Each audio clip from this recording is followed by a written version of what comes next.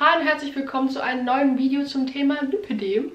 Heute, wie ihr bereits im Titel erkennen konntet, geht es um meine erste Liposuktion, die ich in der Lipoklinik gemacht habe. Und ähm, ja, es ist, ich hoffe, es ist nicht zu chaotisch. Also ich habe so ein bisschen gevloggt, also es wird auch so eine Mischung aus Sit-Down und Vlog, wo ich auch Bilder einblende und so kleine Videos einblende, die ich ähm, im Laufe des ganzen Prozesses gefilmt habe. Also ich werde das Video so aufteilen, ähm, die Tage davor, was man halt ähm, zur Vorbereitung für die OP alles braucht, was man alles machen muss. Dann den Tag der OP werde ich euch erklären, wie das alles abgelaufen ist. Und ähm, dann danach, Post-OP, wie ich so nach der OP, wie das für mich alles so war. Natürlich ist es bei jedem anders. Ähm, jeder ist auch ähm, anders schmerzempfindlich. Manche sind da hart im Nehmen. Ich nicht. das ist natürlich bei jedem unterschiedlich. Aber dann würde ich sagen, let's go.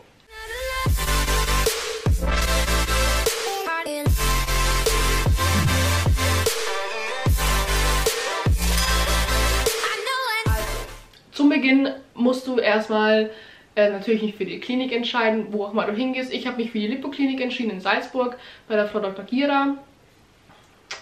Größte Schatz auf Erden. Ich liebe diese Frau. ich hatte so ein Beratungsgespräch vorab, bevor ich mich für die Klinik natürlich entschieden habe. Und bei diesem Gespräch, die hat sich für jeden, so viel für jeden Einzelnen so viel Zeit genommen. Und also die Chirurgin und diese Frau so lieb, also wirklich mega, mega lieb. Auch dann am OP-Tag hat sie mit einem noch geredet. Wenn man nervös ist oder sowas, tut sie einen noch ein bisschen runterbringen und erklärt einem auch, was alles auf einen zukommt und sowas. Also wirklich Hammer, Hammer, Hammer, Hammer. Aber erst nochmal vorab. Ich habe natürlich Beratungs den Beratungstermin gehabt. Nach dem Beratungstermin, also es ist erst so ein, ich weiß natürlich jetzt nicht wegen Corona, ob es viel strenger geworden ist, aber bei mir war es so, dass ich, ähm, wir waren sechs, sieben Leute wo sie halt erst alles erklärt hat, auch wie viel es kostet und so ein paar Einzelheiten hat sie noch erklärt und dann im Anschluss hatte sie Einzelgespräche, wo sie jeden abgetastet hat, wo Maße genommen wurden und sie halt dann ähm, gesagt hat, was sie so vermutet, wie viele OPs man benötigt und ähm, dann hat sie mir auch gleich gesagt, wann die nächsten Termine sind für die OPs. Ich so, ja okay, ich überlege es mir nochmal, habe aber dann direkt am nächsten Tag in der Früh Termine ausgemacht für ähm, den 19. Januar, 16. März und den 19. Mai. Also immer im 8-Wochen-Takt. Die 8 Wochen musst du mindestens Abstand haben zwischen den ganzen OPs. Und ich habe hab halt dann alle im 8-Wochen-Takt gemacht, weil ich es halt dann so schnell wie möglich rumhaben wollte. Und ähm, genau, drei Wochen vor der OP musst du ähm, den Betrag für die OP bezahlt haben. Also ich muss es selber zahlen, bei mir sagt die Krankenkasse nein, wie eigentlich fast bei jedem, aber braucht man sich gar nicht drüber aufregen, habe ich schon oft genug. Und ähm, ja, die haben einen Festpreis von 5.995 Euro. Da ich mich noch für die Vollnarkose entschieden habe, kommen nochmal 245, 250 Euro drauf. Und ähm, ja, die überweist du einfach drei Wochen davor. Du kriegst dann auch, ähm, beziehungsweise musst du dich dann auch bei dem Anästhesisten melden. Auch ungefähr, ich glaube, zwei Wochen davor, auch drei Wochen davor, irgendwie so um den Dreh rum, um mit jemand alles abzusprechen. Der erklärt dir auch nochmal, was er denn alles macht, wie das alles abläuft und beruhigt einen auch nochmal. Ich finde, wenn man weiß, was auf einen zukommt, dass es einem so ein bisschen Nervosität nimmt, weil man halt jeden Schritt weiß, was jetzt kommt. Und ähm, Du hast auch die Möglichkeit, einen Dämmerschlaf auszuwählen. Ich habe mich aber für die komplette Vollnarkose entschieden, weil ich da, ich will weg sein. Ich will davon nichts mitbekommen. Und ähm, ja, dann musst du noch ein Blutbild dorthin schicken, so ein kleines Blutbild und die Gerinnungswerte. Das darf, also das Blutbild darf nicht älter als zwei Wochen sein und muss spätestens sieben Tage ähm, vor der OP bei der Klinik angekommen sein. Also per E-Mail einfach schicken. Und ähm, ja, so habe ich jetzt halt auch am Donnerstag war ich beim Blutabnehmen, weil bei mir geht es in nächste Woche, Dienstag in einer Woche geht schon wieder los. und ähm, ja, sonst zur Vorbereitung. Ähm, ich habe so Matten oder so, wie kann man das erklären, so, so Unterlagen, dass wenn ich halt irgendwie nach der OP noch geblutet habe, weil nicht alles wird zugenäht, manche ähm, Öffnungen bleiben offen, dass alles rausfließen kann. Und dann habe ich mir für die Nachblutungen noch so ähm, so Unterlagen geholt. Ich habe, ähm, um meine Beine hochzulegen, habe ich mir nicht wie bei der Lymphdrainage so ein Kissen geholt, sondern habe halt einfach äh, mehrere Kissen aufeinander gestapelt, dass es auch weich ist. Also ich würde dir raten, also bei mir war es so, dass ähm, ich nicht zu harte Kissen benutzen konnte, weil es sonst unangenehm war. Und, ähm, und zum Thema Schmerzmittel.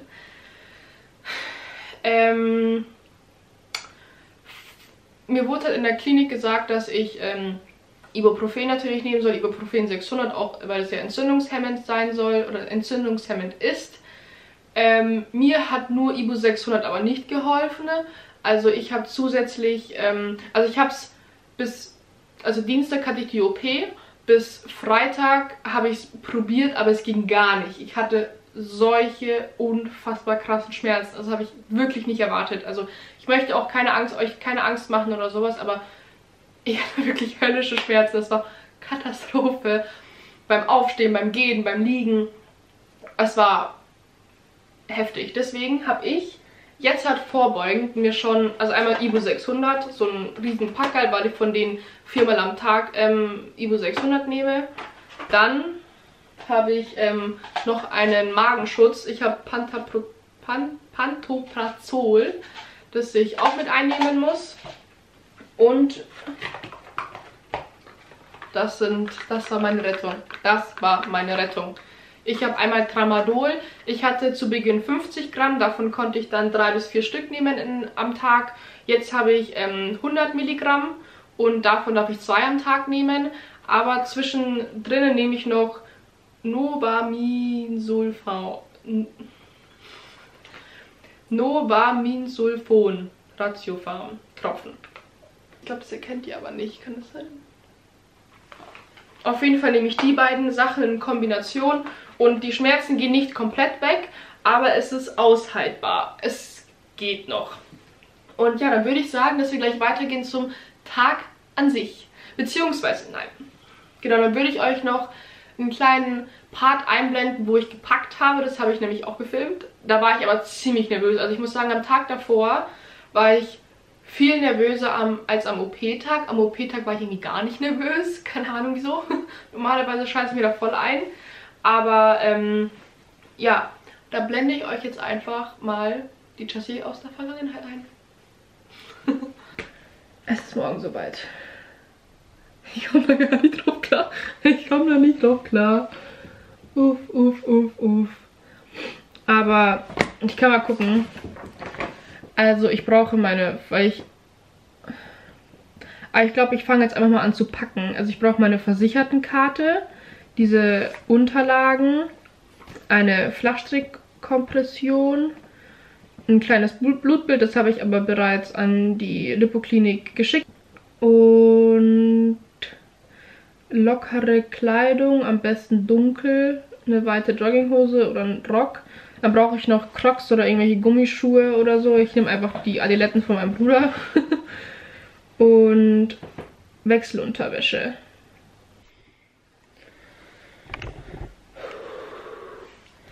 Muss mich hier selber in Gerütte bekommen. Ich werde langsam echt unfassbar nervös. Ähm, also ich habe jetzt halt, da man ja dunkle Sachen tragen sollte, habe ich mir jetzt halt äh, eine schwarze Jogginghose, die ziehe ich aber glaube ich an und den Pulli, da habe ich eine Kompression, die ich heute Morgen tragen werde und eine nehme ich mal sicher mit. Dann eine Unterhose, dann habe ich noch so einen Pulli, weil ich mir glaube ich noch ein T-Shirt mitnehme. Falls ich friere, kann ich es drunter anziehen oder wenn ich irgendwie Hitzewallungen habe, kann ich es drüber anziehen. Und oh, ich glaube, ich muss mir halt echt...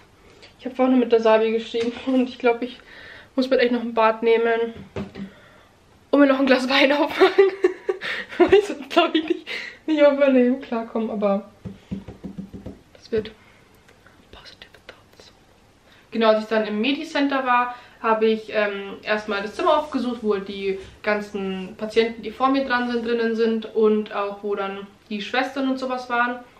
Dann ähm, wurde mir einfach mein Bett gezeigt, also wir waren drei Patienten an dem Tag und ähm, dann im Anschluss kam, kam ich in so einen Extraraum. Ich glaube, da habe ich auch sogar ein bisschen gefilmt. Ich weiß es nicht. Aber auf jeden Fall, da ist so ein ganz kleiner Raum, wo rechts so ähm, Regale sind, beziehungsweise Schränke, wo du deine ganzen Klamotten reintun kannst, die du momentan anhast. Und ähm, dann kriegst du so einen ähm, Kittel an und so eine Haube für die Haare. Das ziehst du dann einfach an. Du kriegst auch noch so, so wie für die Haare so eine Haube, kriegst du auch für die Füße. Und ähm, dann habe ich mich einfach umgezogen, habe halt Unterwäsche anlassen können und habe das alles in den Schrank gepackt, weil ähm, wenn wir dann Zimmer gewechselt haben und das Zimmer, wo wir übernachtet haben, da haben einfach die ganzen Pfleger das mitgenommen und haben es halt oben ins Zimmer mit reingetan. Und ähm, nachdem ich mich dann umgezogen habe, habe ich mich dann aufs Bett gelegt. Dann kam ähm, irgendwann der Anästhesist, hat halt nochmal mit mir alles besprochen und hat sich nochmal aufgeklärt. Habe dann die Nadel hier hinbekommen. Fand meinen Kreislauf gar nicht toll. Hat sie erstmal fast einen Scheiter rausgelegt, äh, rausgehauen. Und ähm, ja, dann ging es auch. Nee, wurde ich erst angezeichnet? Nee, bevor ich die Nadel bekommen habe, wurde ich angezeichnet. Also die Flockierer hat dann nochmal vor so eine Wand. Ich habe auch ein paar Fotos davon gemacht. Ich habe auch, wie das Anzeichnen an sich ablief, habe ich auch ein Video auf meinem Instagram-Account hochgeladen. So ein IGTV. Da hat die Frau Dr. Gira ähm, angezeichnet, wo wir jetzt operieren werden. Und ähm, hat es auch nochmal wirklich gut erklärt. Also falls ihr das Video anschauen möchtet, ist es wirklich sehr informativ. Und ähm, dann, nachdem ich angezeichnet wurde, habe ich dann die Nadel reinbekommen und dann ging es auch schon los. also ich war nicht echt die ganze Zeit voll gechillt, aber dann, als es hieß, okay, es geht jetzt los, dann ging mir die Pumpe. Dann ging mir wirklich die Pumpe. Dann bin ich in den Raum reingekommen, es war arschkalt, es war arschkalt. Also wirklich, es war richtig kalt. Und ähm, als ich dann drinnen war, wurde ich erstmal desinfiziert. Also ich musste mich dann so auf so eine Erhöhung stellen und dann habe ich so meine Arme noch auseinandergetan und dann haben die mit einem richtig, also ich weiß nicht, was das war, ob das Desinfektionsmittel war, ich weiß es nicht, aber es war arschkalt. Haben die halt meine Beine da desinfiziert und oh, wird mir jetzt schon wieder ganz kalt. Dann musste ich mich auf diese Liege legen und da habe ich meine Arme auch so auseinandergetan. Dann musste ich einmal so machen und so machen, wie weit ich halt gehen kann und auf welcher Seite ich normalerweise schlafe, musste ich dem Anästhesisten dann auch sagen. Und ähm, dann habe ich auch schon, dann haben die unten, die haben mir so eine, so eine, nicht eine Matte, aber was war das? So eine Unterlage oder sowas über mich drüber gelegt und ähm, dann war ich auch schon weg. Dann hatten die mir das Mittel gespritzt, Jessica war schon im siebten Himmel, hat dann geschlafen und dann ging es auch los. Ähm, ein kleiner Einblick von der OP. Also wie das alles abläuft, werde ich auch noch einblenden, weil die Frau Dr. Gira so lieb war und es alles mitgefilmt hat, damit, ich, damit ihr das auch seht, wie das abläuft. Und ja, dann würde ich sagen, roll the clip.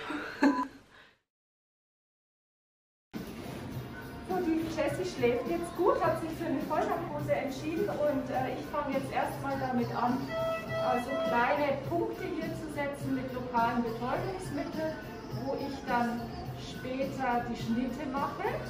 Wir verwenden ja sehr, sehr viele Schnitte, aber ohne viele Schnitte kann ich das nicht zirkulär und nicht radikal operieren. Und das ist ja das Ziel beim Lipidem, zirkulär, radikal und dann kann man diese Erkrankung nachhaltig in den Griff bekommen.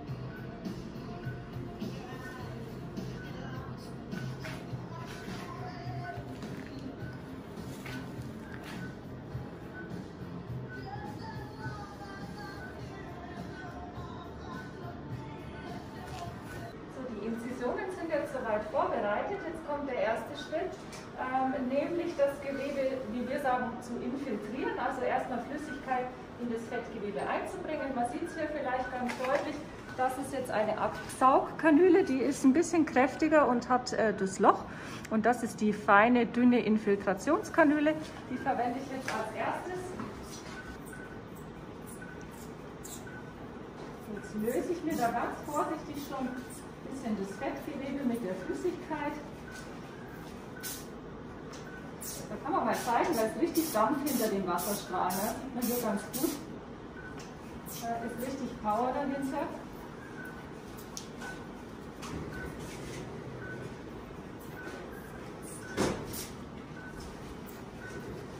Bis hier oben wollen wir heute absaugen. Ne? Also ist im Prinzip schon der untere Oberschenkel ist da schon mit dabei bei der OP. Und natürlich das komplette Knie.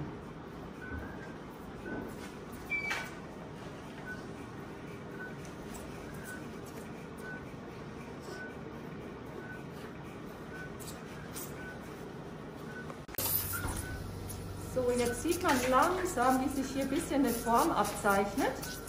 Ich bin nämlich jetzt gerade dabei, sozusagen die Fessel von diesem Fettmuff zu befreien. Und wir sind tatsächlich an dieser Stelle, wo wir quasi die Hälfte des Unterschenkels vorne abgesaugt haben, schon fast bei einem Liter. Es wird noch mehr werden.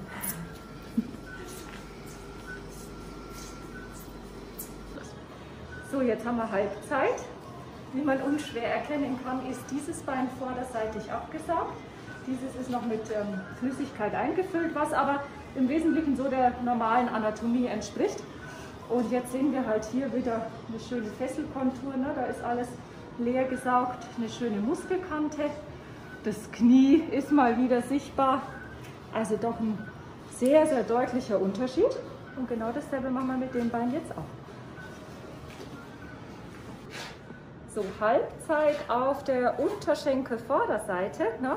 Die Beine haben nichts mehr mit den alten zu tun. Auch das Knie ist hier schon schön modelliert. Und wir sind bei sage und schreibe 3,9 Liter, Stand jetzt. Und jetzt drehen wir die Jessie um und machen auf der Rückseite weiter. So, die Jessie hat es geschafft. Wir sind auch fix und fertig. Es waren satte 5,3 Liter aus den Unterschenkeln, äh, aus dem Kniebereich und aus dem unteren Oberschenkel. Und jetzt äh, schauen wir, dass die Jessie gut aufwacht und dass alles ja, gut wird. Genau, und als ich dann nach dem OP aufgewacht bin, da kann ich mich eigentlich gar nicht mehr dran erinnern. Ich habe nur, äh, also die Mädels haben halt gemeint, dass ich anscheinend ziemlich geweint habe, weil ich ziemlich starke Schmerzen hatte, aber ich habe dann auch eine Infusion bekommen, kann ich mich auch gar nicht mehr dran erinnern. Ich habe aber, was richtig geil war, ich habe sogar aus dem OP, als ich geschoben wurde, das habe ich gefilmt auf meinem Handy. Ich habe keine Ahnung wie, aber habe ich gemacht. Und ich habe dann sogar auch, als ich dann aus dem OP war und wieder zu mir gekommen bin, habe ich dann gleich eine Instagram-Story gemacht und habe da irgendeinen Bums dahin geschrieben. Ich habe keine Ahnung, was ich da eigentlich schreiben wollte. Aber ich habe halt auch meinen Eltern geschrieben, meinem Bruder geschrieben und ähm, habe auch ein Video gemacht. Ich kann euch das Video mal hier zeigen.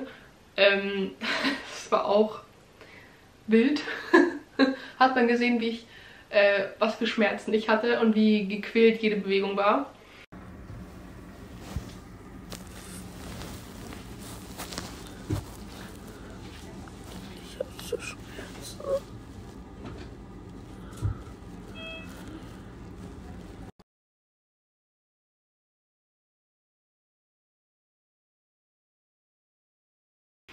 Dann ähm, sind wir dann auch schon irgendwann auf die Zimmer gekommen. Also ich kann mich wirklich noch vage dran erinnern, eigentlich gar nicht. Ähm, und dann waren wir im Zimmer, da haben wir Essen bestellt. Oh, das Essen war so lecker. Ich hatte so eine Bowl und dann noch habe ich mir mit der Sabi einen Pfannkuchen geteilt. Oh mein Gott, der war so lecker. Das war so lecker. Hammer, hammer, hammer.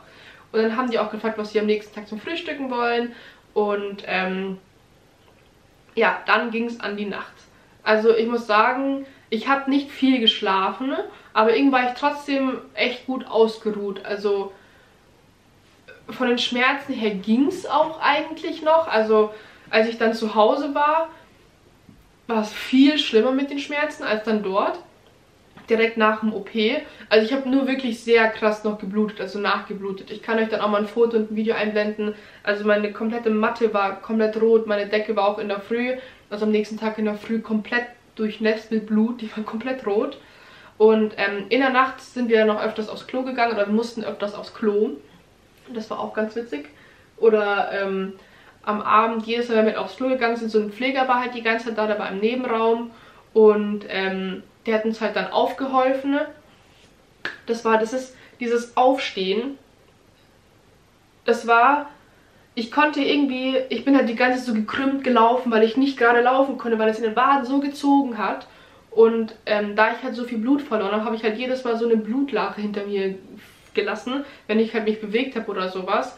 Und ähm, ich hatte ja nicht schlimme Kreislaufprobleme, aber ich hatte auf jeden Fall Kreislaufprobleme, weil ich natürlich auch sehr viel Blut verloren habe. Mir wurden nämlich 5,3 Liter abgesaugt. War es auch so, dass ich aber aufs Klo musste und dann ging es auch die ganze Zeit nur auf einmal. Also der Pfleger ist ungefähr alle 30 Sekunden reingekommen, ob alles in Ordnung ist, ob alles geht, ob alles geht. Und es war alles easy und dann auf einmal Schalter um, hat er mich schnell ins Bett gehievt, hat halt, wir hatten so einen Höhenverst äh, so wo man die Füße so hoch tun kann, also so ein Krankenhausbett. Und ähm, hat dann gleich die Füße so hochgelagert und dann ging es auch wirklich sofort wieder. Und beim Zähneputzen war es halt genauso. Ich bin dann so gestanden, dachte mir so, oh, das passt ja, klappt ja voll super, putzt Zähne und auf einmal, bam. Das ging halt echt relativ schnell. Und ähm, genau, am nächsten Tag wurde ich dann von meiner Mama abgeholt. Da haben wir erst noch ein Ibo bekommen, haben Frühstück bekommen und dann um 7, 7.30 Uhr wurden wir dann abgeholt. Also wurde jeweils jeder abgeholt von den, vom Elternteil. Und ähm, da wurde ich dann auf so einen Rollstuhl gestellt. Äh, dann wurde ich auch auf so einen Rollstuhl ähm, gesetzt. Und wir sind dann damit runtergefahren. Und dann ging es darum, ins Auto zu steigen. Also die Schmerzen waren schon echt heftig. Das Schlimmste war aber auch, weil ich halt irgendwie so gespürt habe, wie das Blut die ganze Zeit, weil ich hatte halt nur eine Kompression an. Was ich euch auf jeden Fall empfehle, zieht eine schwarze Kompression an. Eine helle Kompression, also so, ich habe jetzt auch eine helle an, aber zieht eine schwarze Kompression an, weil es läuft dann alles raus, das Blut, das ist so eklig. Ähm, und dann habe ich, meine Mama hat so einen ähm, Bierka glaub, Bierkasten oder Spezikasten in den Fußbereich getan. Also ich bin halt vorne gesessen, denn wir haben den Sitz ganz hinter getan. Und dann haben wir es mit Kissen aufgefüllt, dass es halt schön weich ist. Und dann habe ich ähm, mich irgendwie reingehieft. Dann hat die Mama den Rollstuhl wieder hochgebracht. Dann sind wir wieder nach Hause gefahren und dann zu Hause, ähm, weil ich bin halt im zweiten Stock. Und eigentlich wollte ich hoch in mein Zimmer. Aber ähm, ich bin dann erstmal unten auf der Couch gelegen und ähm, habe dann geschlafen. Ja, ich dann, bin dann eingeschlafen, war dann wieder mal so da, dann habe ich wieder eingeschlafen, dann war ich wieder da. Und ähm, ich habe da sogar ein Video gemacht, wie ich versucht habe aufzustehen. Da kann ich es euch auch jetzt einblenden.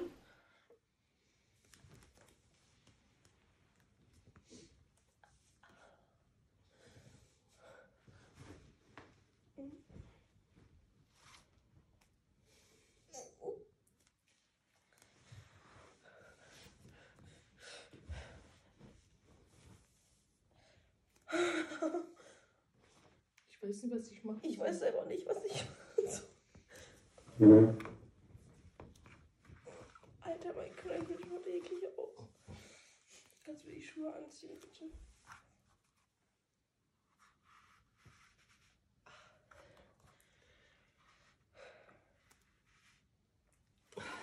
Oh, mein Kreislauf, warte. Uff. Oh.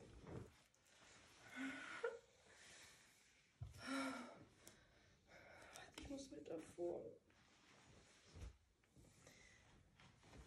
Du kannst vielleicht nicht an meinem Hals festhalten. Das wird jetzt halt richtig schwer hochzugeben, weil das Endprodukt hier ist. Drei, zwei, eins.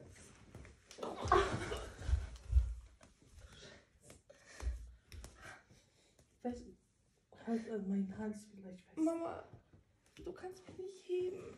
Aua! Ich kann es abwinkeln, weil es hier alles gesaugt wurde. Drei,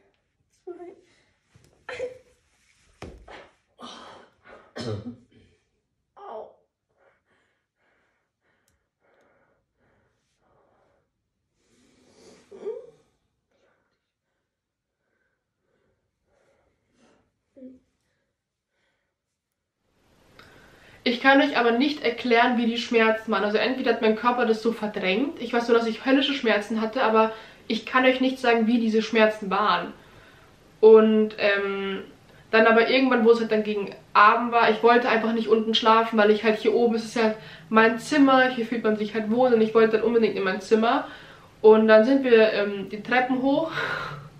Das war auch der Papa, hat mich, also wir haben relativ breite, ähm, breite Treppen, sprich ich habe halt meinen Fuß dann hier ins Eck getan, anderen Fuß da ins Eck und bin dann, hab den Fuß so hoch und der Papa hat mich dann sozusagen an der Hüfte gepackt und mich dann so hochgezogen, weil ich halt keine eigene Kraft hatte, um hochzugehen.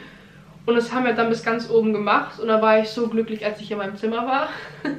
ich habe aber auch nicht hier auf meinem Bett geschlafen, sondern drüben auf der Couch, weil das Bett hier immer viel zu weich ist und ich habe halt, ähm, meine Matratze hört halt hier auf und ich habe hier noch so eine Holzerhöhung und ähm, das wäre halt einfach nicht gegangen.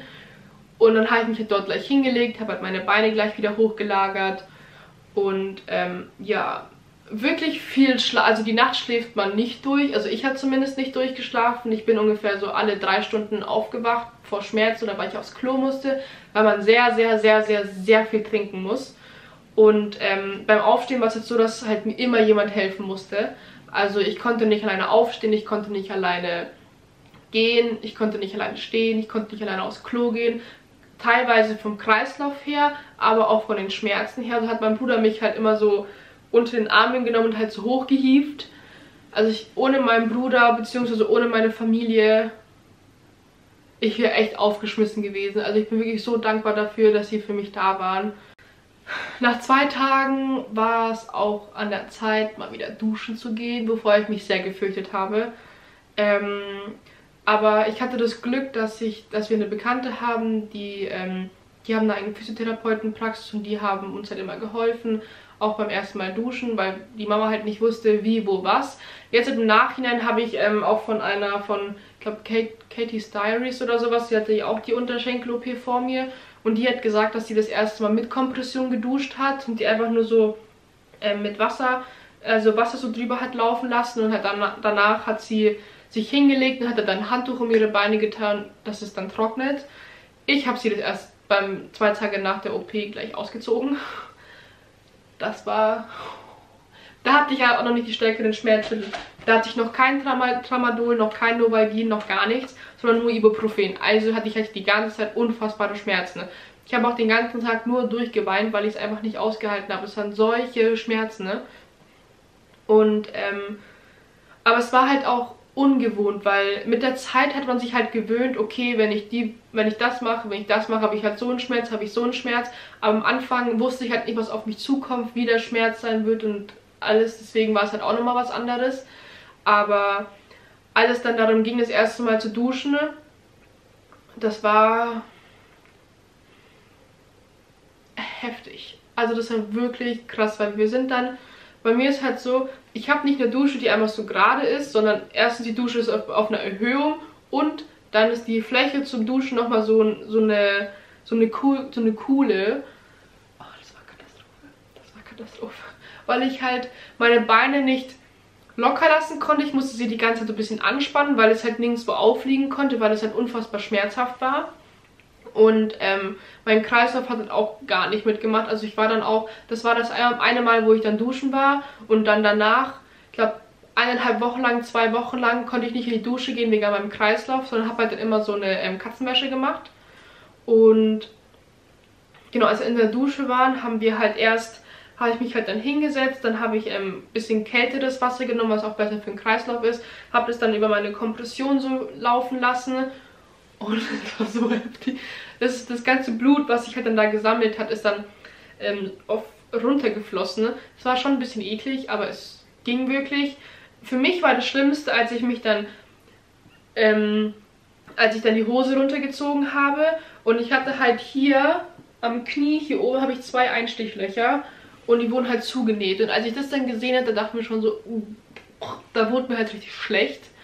Dann, aber irgendwann ging es. Es war halt einfach nur ungewohnt, wenn man das halt nicht, man kennt das so von Videos, aber es war halt nie so der eigene Körper. Und wenn man das so am eigenen Körper sieht, oder zumindest ich, ich fand es dann irgendwie eklig. Aber ich hatte dann auch Cola parat und hatte Traubenzucker. Und ähm, genau für die Autofahrt auf dem Rückweg auf jeden Fall Cola, Traubenzucker immer dabei haben, dass ihr euren Kreislauf hochpushen pushen könnt. Ähm, genau, dann lag ich in der Dusche, äh, beziehungsweise in der Dusche haben, hat die ähm, Bekannte von uns hat dann meine Hose mal runtergezogen. Also die hat die Kompression dann so auseinandergezogen und dann so langsam runtergezogen. Das war heftig. Also meine Mama hat gemeint, dass ich fast für einen kurzen Moment fast ohnmächtig geworden bin. Ich habe halt nur geschrien, weil ich solche Schmerzen hatte. Und da war meine Mama auch richtig dankbar dafür, dass halt eine, die Bekannte gekommen ist, weil natürlich als Mama, wenn du merkst, dass du deiner Tochter wehtust, ähm, kannst du halt nicht. Und die Bekannte von uns hatte halt dann die hat gemeint, okay, ich weiß, Jessie, es tut weh, aber ich mach's jetzt einfach, dass du schneller hinter dir hast. Und dann war ich sehr dankbar dafür. Und dann hat es halt runtergezogen und da war die Schwellung an meinen Waden noch nicht so krass, nur an den Knöcheln. Also meine Knöchel sind wirklich eigentlich doch am selben Tag sind die richtig krass angeschwollen. Und dann habe ich, als die Kompression aus habe ich erst dann gesagt, thank you Jesus. Also da war ich richtig glücklich. Ähm, dann ging es aber ums Aufstehen. Das war dann auch nochmal eine andere Sache für sich, also nochmal eine Sache für sich. Ähm, ich habe nur dann, als die Kompression aus war, ich halt meine Beine angeschaut und es war halt richtig komisch, weil du halt von deinen eigentlichen Beinen, oder deinen ungesunden Beinen oder deine Beine, die halt die Lippe, den betroffenen Beine, kanntest du halt davor, also am Tag davor waren sie noch ganz anders und dann siehst du, wie dünn sie sind oder wie schmal die sind und dann mein Knöchel, das war halt wirklich, mein Bein war so richtig schmal und dann kam unten mein Knöchel so boom, also jetzt übertrieben gesagt. Und das hat mir irgendwie nochmal den Kreislauf richtig zusammengehauen. Ich weiß nicht wieso, aber wahrscheinlich, weil ich es eklig fand oder sowas, wie der Knöchel angeschwollen war. Da hat mir dann die Mama nochmal kaltes Wasser übers Gesicht getan, über den Kopf. Und ähm, dann bin ich auch aufgestanden, da haben die mich zu, ich weiß gar nicht, zu zweit oder zu dritt in, in mein Zimmer getragen und da habe ich halt auch die ganze Zeit nur eine Blutlache hinter mir gelassen, weil halt die ganzen Löcher offen waren. Die haben aber auch Bilder gemacht. Ich werde euch hier noch Bilder einblenden, ähm, wie meine Beine dann aussahen. Und ähm, ja, als ich dann kurz vor der Couch war, bin ich ausgerutscht, weil ich so eine Blutlache unter mir dann hatte. Dann habe ich auch erstmal einen Herzinfarkt bekommen. Aber als ich dann gelegen bin, dann ging es auch. Also ich war halt fix und fertig. Also ich war halt fix und fertig, weil es so anstrengend war. Genau, als ich dann da lag, hat dann meine Bekannte sich die Wunden angeschaut, hat die Wunden versorgt und dann haben wir die Kompression halt wieder angezogen. Das war auch Horror. Aber irgendwann hat man halt den Dreh raus. Am Anfang waren wir beide halt so unerfahren, kann man eigentlich sagen. Und wir haben halt dann so unsere Erfahrungen gesammelt, haben halt nach und nach dann so Tricks herausgefunden, wie es halt dann leichter war. Also am Anfang war es doch unfassbar unangenehm, aber immer bevor sie gekommen ist, habe ich halt dann eine Tramadol genommen und also eine Stunde bevor sie gekommen ist, Tramadol und ähm, kurz bevor sie gekommen ist, Novalgin, weil Novalgin wirkt schneller und dann, es war schmerzhaft, aber es ging. Dann ähm, wurde ich auch noch jeden Tag gelümpft, also das kann ich euch nur empfehlen. Also nach der OP so viele Lymphdrainagetermine, wie es nur möglich ist. Also drei, vier Mal die Woche wäre absolut Hammer. Ich hatte das Glück, dass ich halt dann jeden Tag gelympft wurde. Und ähm, ich glaube, durch das jeden Tag Lymphen sind meine Hämatome auch ziemlich schnell zurückgegangen. Ähm, und was ich euch, welchen Tipp ich euch noch geben kann beim Kompression anziehen. Warte, ich hole mir mal noch eine andere Kompression, dass ich es euch zeigen kann, wie wir meine Kompression angezogen haben. Äh, ich würde euch auch empfehlen, die Kompression anzuziehen, die am weitesten ist, weil durch die Schwellung und sowas ist es ziemlich unangenehm, wenn die ziemlich eng ist. Also wir haben es so gemacht, dass wir, hier ist das, also erstmal die ähm, Kompression umdrehen, also falsch herum, weil es dann leichter ist zum Anziehen, weil du sie dann einfach nur so hochstulpen musst. Dann haben wir hier ähm, am Fußteil, wo hier die Ferse ist, haben wir das einfach genommen und so reingetan. Das ist, je nachdem, wie es für dich angenehm ist, musst du halt probieren, ob du die Ferse noch weiter rein tust oder so machst. Dass, dass es jetzt so ausschaut, also hier ist die Ferse. Dann nimmst du, ziehst du das halt an und das machst du auf beiden Seiten. Und dann danach haben die halt meine Kompression nach und nach hochgezogen und halt richtig auseinandergezogen. Also da brauchst du jemanden mit Muckis. Weil man konnte es nicht so drüber streifen, weil es halt unfassbar schmerzhaft ist. Deswegen haben sie jetzt immer so auseinandergezogen. Sie haben ja dann nach und nach immer höher, immer höher. Am Anfang hat es auch noch wirklich ziemlich lang gedauert. Dann von Woche zu Woche wurde es halt auch besser. Und ich glaube ab Woche... Ab Woche 4...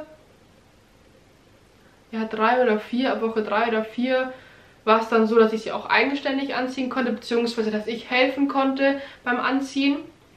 Und jetzt kann ich sie easy peasy alleine anziehen. Ähm, genau. Und was war noch? Ich habe auch, also man muss auch Thrombosespritzen nehmen. Also ich habe für sieben Tage die Thrombosespritze bekommen vorab und dann war ich halt beim Hausarzt. Und da kommt es halt ganz drauf an, wie gut du dich bewegen kannst. Also ich konnte dann relativ gut laufen. Also das Wichtigste ist halt, dass du die Wadenpumpe aktivieren kannst. Also dass du halt wirklich so abrollen kannst und mit der Ferse so hoch gehst. Dann, ähm, weil wenn du so die ganze Zeit hin und her dackelst, dann bringt das halt nichts. Also ich kann mal ein Video auch einblenden, wie ich ähm, gelaufen bin. Das war, ich glaube, eine Woche nach der OP. Ne, es war zwei Tage nach der OP. Kann ich euch hier mal einblenden. Kann sein, dass sie irgendwas, eine äh, äh, Dings getroffen haben und das blutet so. Weil dieser die ganze Zeit. Bravo! Hoppala. Das war zu viel. wie ich da gelaufen bin. Ziemlich breitbeinig auch, weil es ähm, innen drinnen an, den, an meinen Oberschenkeln auch wirklich sehr geschwollen war. Und ja, dann, man muss einfach Geduld haben. Also es heißt so nach dem Tag 10, nach dem Tag 11, 12 so ungefähr, soll es dann bergauf gehen. Ähm, das ist bei jedem unterschiedlich. Bei mir war es nicht nach Tag 10, ich glaube bei mir war es Tag, nach Tag 12, 13 ungefähr, wo es dann wirklich gut bergauf ging. Ähm, ich habe dann aber auch viele Übungen gemacht. Also ich bin, wenn ich gelegen bin, habe ich, also wenn ich so gelegen bin, die ganzen Beine nach oben, habe ich meine Zehen die ganze Zeit so angewinkelt, damit ich halt die Wadenpumpe auch aktivieren kann. Dann, ähm, was habe ich noch gemacht? Dann habe ich, ähm, meine Beine so gestreckt, habe halt dann meinen Oberschenkelmuskel so angespannt, um halt einfach das alles zu beschleunigen bzw. zu unterstützen. Dann bin ich auch ähm, auf und ab gelaufen, habe dann versucht Treppen zu laufen. Also da ist halt jemand vor mir gegangen, immer an dem ich mich so stützen konnte. Und ich habe halt dann probiert, mein Knie abzuwinkeln. Es ging nicht immer, beziehungsweise ging es am Anfang gar nicht. Man muss sich halt langsam rantasten. Was ich aber gelernt habe, mach nicht zu viel. Also ich habe an einem Tag dachte ich so, boah, es ging voll gut. Dann bin ich hier rumgelaufen und ähm, wirklich viel auch rumgelaufen, also viel. Bin dann noch draußen bei mir auf dem Hof noch auf und ab gelaufen und dann am Abend, ich bin gestorben vor Schmerz. Also man darf es auch wirklich nicht übertreiben. Also das Problem ist, dass man ja so zugepumpt ist mit Schmerzmittel, dann weißt du nicht, okay, jetzt reicht's, weil jetzt, da ich keine Schmerzmittel mehr nehme, merke ich halt schneller, okay, jetzt wird es langsam unangenehm, jetzt wird es wieder Zeit, dass du deine Beine hochlegst. Das war halt aber damals nicht der Fall. Ich habe es dann am Abend gespürt. Und ähm, genau, ich habe noch das Glück, dass ich einen Stepper zu Hause habe. Dann hat halt meine Bekannte auch gemeint, dass ich mich bewegen soll, weil ich halt dann auch ähm, das unterstütze, die Schwellung und das besser wird und keine Ahnung was. Also wieso das alles ist, kann ich euch nicht sagen. Ich kann euch nur sagen, was mir halt geholfen hat. War halt dann jeden Tag auf dem Stepper. Anfangs nur so eine Viertelstunde, dann 20 Minuten, jetzt mittlerweile eine Dreiviertelstunde, 50 Minuten, je nachdem wie ich halt Bock habe. Und ähm, ja, dann habe ich noch so Übungen gemacht, was ich habe so Kniebeugen gemacht. Dann ähm, bin ich so an der Wand gestanden und musste ähm, mit den Fersen so hochgehen, also auf Zehenspitzen gehen, aber dabei, dabei achten, dass ich einen geraden Rücken habe was habe ich noch gemacht? Dann habe ich ähm, noch so Bauchmuskeln, Bauchmuskelübungen gemacht und sowas, um einfach ähm, den Körper auch ein bisschen nicht platt zu bekommen, aber so eine, so eine Abwechslung, weil Sport und sowas, also mir persönlich tut halt immer Sport gut. Genau, dann mit der Schwellung. Also ich, es ist immer noch geschwollen, ich habe auch immer noch so Verhärtungen hier in den Seiten ne? und unten auch. Aber ähm, das ist normal. Bei den Verhärtungen, das ist normal. Es dauert einfach, bis es weggeht. Also meine Freundin, die wurde vor fünf Monaten, ich glaube fünf Monaten abgesaugt in den Unterschenkeln und die hat bis heute immer noch leichte Verhärtungen. Und ähm, ja, ich habe euch noch auf Instagram auch gefragt, ob ihr irgendwelche Fragen habt zu dem Thema. Schauen wir mal, was da noch so kam. Mein Game-Changing-Tipp. Mm, Schmerztabletten.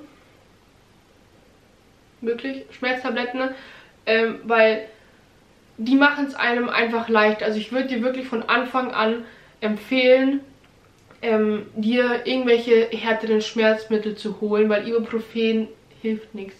Sorry, aber es hilft einfach nichts gegen die Schmerzen. Ne? Ähm, deswegen das auf alle Fälle und Geduld. Also eigentlich sind wirklich Schmerzmittel und Geduld. Also ich habe jetzt halt nicht so Tipps, also natürlich zum Beispiel meine Handschuhe oder sowas, die ich ja schon mal in einem Video gezeigt habe zum Anziehen, die haben mir noch sehr geholfen, weil du halt einfach dann mehr Grip hast beim Hochziehen. Aber Schmerzmittel, das ist so, wo ich auch jetzt überfroh bin für die zweite OP, dass ich da einfach mehr vorbereitet bin. Jetzt weiß ich natürlich auch, was auf mich zukommt. Jetzt kann ich an die Sache anders rangehen. Aber Schmerzmittel. Schmerzmittel. Dann, was sind deine Must-Haves, um, um es erträglicher zu machen? Ja, eigentlich wieder Schmerzmittel. Eine gute Erhöhung ist halt eigentlich auch wichtig, dass du deine Beine gut hochlagern kannst. Und ähm, wir haben es dann meistens auch so gemacht, dass wir Kisten hatten als Erhöhung und wir haben auch so kleinere Kisten hierhin gemacht, dass meine, meine Oberschenkel sich da so, ähm, dass da nicht hier so Luft war und da meine Beine gleich oben waren. Mein Oberschenkel hier so drauf ausruhen konnte, weil es angenehmer war. Und ähm, je nachdem, wie du halt dann ausläufst oder also nachblutest oder nicht, halt diese Unterlagen auf alle Fälle. Und ähm, dann wurdest du krankgeschrieben oder musstest du Urlaub nehmen. Also bei der Lipoklinik wirst du zwei Wochen krankgeschrieben und das Weitere muss halt dann mit deinem Hausarzt besprochen. Also ich wurde dann weiterhin von meinem Hausarzt krankgeschrieben. Und ähm, da musst du schauen, je nachdem, wie es halt dann für dich geht, weil ähm, das Problem ist, du musst halt deine Beine die ganze Zeit so hochlagern und darfst halt nicht, die nicht ähm, in der Kniekehle nicht knicken, weil sonst die Gefahr ist, dass es halt nicht mehr, durch, nicht mehr durchblutet wird, beziehungsweise kann das alles nicht mehr gut ablaufen und deswegen ähm, kriegt er diese Verhärtungen. Also ich habe auch nach zwei, drei Wochen nach der OP habe ich schon ähm, jeden zweiten, jeden dritten Tag ohne Kompression geschlafen, weil ähm, das irgendwie in den Waden nicht so gut abgelaufen ist. Deswegen sind meine Waden immer richtig krass immer noch so hart gewesen und ich hatte hier unten auch richtig krasse Verhärtungen, weil es mir das die ganze Zeit so eingeschnitten hat. Und ähm, deswegen habe ich dann auch ohne Kompression geschlafen. Wenn du auch schläfst, ist es wirklich nicht schlimm. Also natürlich vielleicht nicht jeden Tag oder sowas, aber ähm, in der Nacht ist es wirklich kein Problem. Wenn du halt dann aufstehst, dann solltest du sie halt wieder anziehen. Und ähm, also ich habe auch mit der Chirurgen, also mit der Frau Dr. Gira drüber gesprochen ähm, dass meine Physiotherapeuten mir das halt empfohlen haben, dass ich das ausprobieren kann. Sie hat gemeint, ja, das ist gar kein Problem, ähm, wenn man alle zwei, drei Tage ohne Kompression schläft, weil da kann wirklich nichts passieren. Und ja, wie bist du bitte in die Compri reingekommen? Ich bin drei Tage Post-OP und drehe fast durch. I feel you with you. Die ist auch Jessie. ähm, mit Hilfe und wie ich halt vorhin schon erklärt habe, so auseinanderziehen. Ich habe dir eh schon privat geschrieben, weil ich gesagt habe, okay, bis das Video online kommt, helfe ich dir lieber direkt. Siehst du schon einen großen Unterschied? Schwer zu sagen, also ich sehe schon einen Unterschied, vor allem hier, weil man halt die Wade hier so sieht und von hier vorne auch. Und wenn ich halt meine Beine so hoch tue, also ich kann euch versuchen, das mal hier so zu filmen. So, also man sieht hier, bis wohin abgesaugt wurde. Also wenn ich so liege, dann ist mein Fuß hier auch dünner. Und man sieht halt mein Knie. Also mein Knie sehe ich, wenn ich liege. Und hier sieht man es halt auch einfach. Ich habe auch so ein Video, so ein kleines Video gemacht, wie ich ähm, hier an den Seiten, wo ich noch nicht abgesaugt wurde, das meine Haut so in die Hand nehme und unten, wo schon gesaugt wurde, das kann ich euch auch gleich noch einblenden.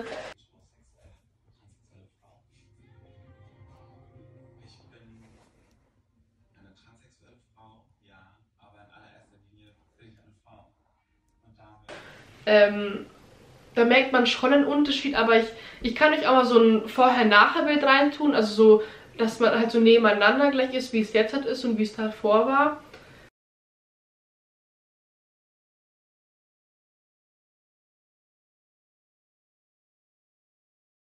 Manuelle oder maschinelle Lymphdrainage? Was ist besser und warum?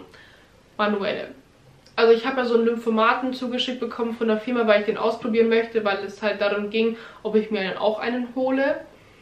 aber die manuelle Lymphdrainage kann einfach keine Maschine nachmachen. Also normalerweise ist es ja so ein Zeichen dafür, dass es eine gute Lymphdrainage ist, dass du danach pinkeln musst, weil der Sinn deiner Lymphdrainage ist ja auch, dass die ganzen Flüssigkeiten, dass du halt das alles massierst, dass alles wieder läuft und ähm, die ganze Lymphflüssigkeit halt dann auch, die wird dann beispielsweise auch von unten nach oben gedrückt und ähm, ich muss jedes Mal nach der Lymphdrainage pinkeln. Es war sogar jetzt hat nach den OPs ab und zu so, dass ich ähm, nach, also wir haben eine halbe Stunde rechts, eine halbe Stunde linke Seite gemacht, dass ich nach der Hälfte explodiert bin. Ich musste so dringend pinkeln.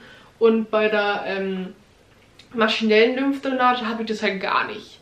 Also es ist halt, ich weiß nicht, das ist so, man spürt halt so einen Druck, einen Druck aber es fühlt sich jetzt nicht so an, als würde es zum Beispiel von unten nach oben gehen. Es fühlt sich einfach nur an, als würdest, würdest du, als würde dich jemand so einen Arm nehmen, also deine Beine so einen Arm nehmen und auch ganz fest zudrücken.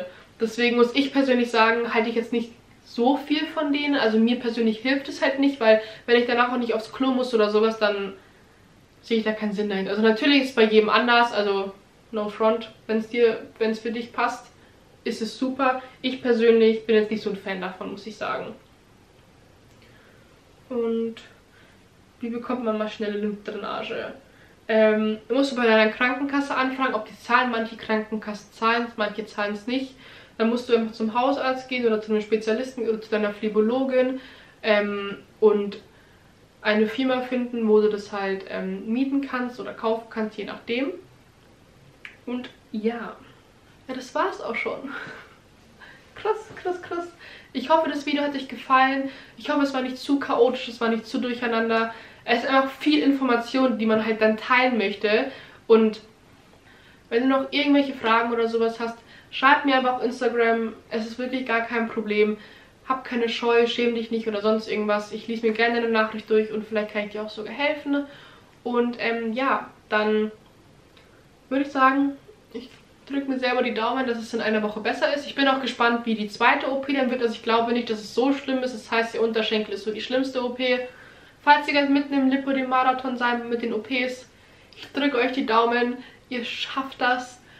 Und ja, ich verlinke euch auch noch meine ganzen anderen Videos zum Thema Lipidem unten in der Infobox. Und dann würde ich sagen, tschüss. She drove right out of a magazine and oh my gosh, I never seen something so bright like the sky. Always guiding me.